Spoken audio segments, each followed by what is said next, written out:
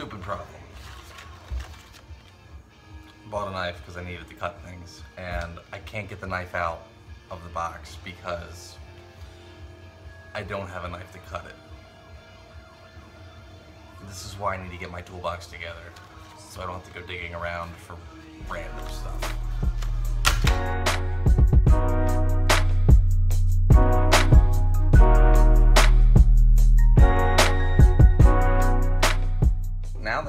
Done, we're ready to start painting, prepping.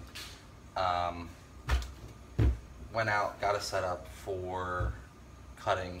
Didn't want to really mark up the new desk yet. Got the X-Acto knife. Couldn't find my own knife because toolbox isn't together yet. So we're improvising. So the other night I went out and ordered some of this stuff, adhesive carbon fiber film vinyl. And the goal is the case is going to be white with black accents, and I figured why not do carbon fiber since we're going for a car theme. So I have these different parts which are going to get the carbon fiber treatment, motherboard backplate, front bay covers, and the little top hood thing that has the power button and everything else on. So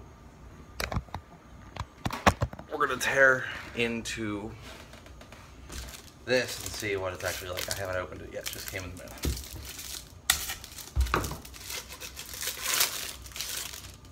Now this is like a 3D printed vinyl, so there's actually a texture to it. It doesn't look just shiny. It actually feels 3D, so yeah, it's nice carbon fiber texture, which will add a lot of depth to the case and make it look a little more realistic instead of like I just slapped a sticker on there. Uh, finally, get the knife out.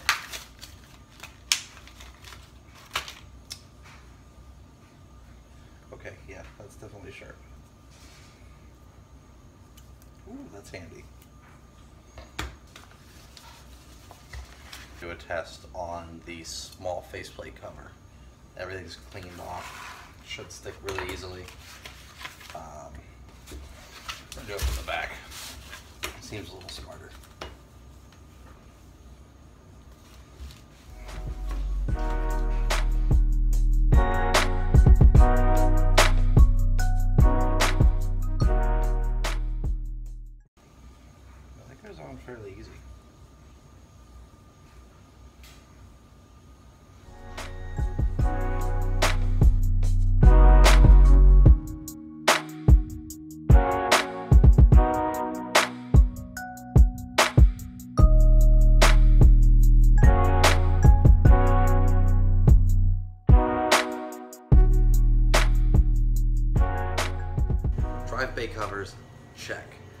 Vinyl went on easy, came off horribly, not easy.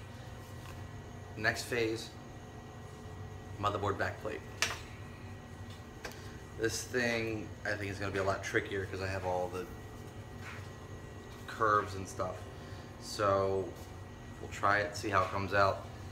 Um, if not, this thing's just getting painted black. Tray is kind of done.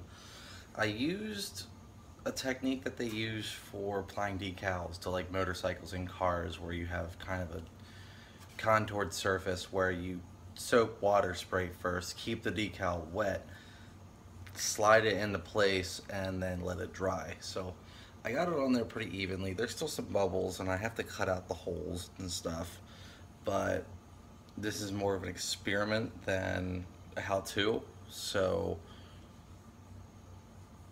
see how it works. Yeah. I've been at the carbon fiber prep and application now for about four hours. Um, got a good bit done. I'm definitely starting to see this thing take shape, but I'm gonna call it a night. I work in the morning and tomorrow hopefully we'll get some sanding done and apply some primer. If I can catch some good weather, I'll do it outside before it gets dark.